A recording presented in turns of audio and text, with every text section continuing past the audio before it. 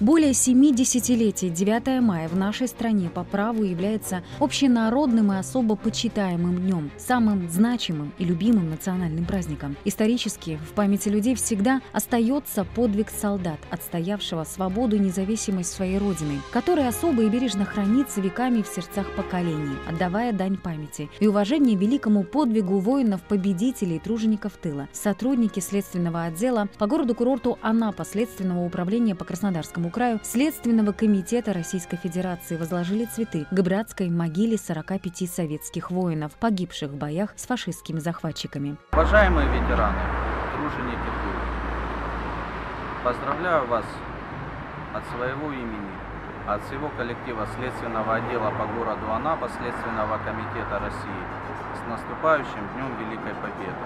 Мы помним и гордимся о вашем подвиге. Самое главное, желаем вам здоровья. Олеся Давыдова, 39 канал.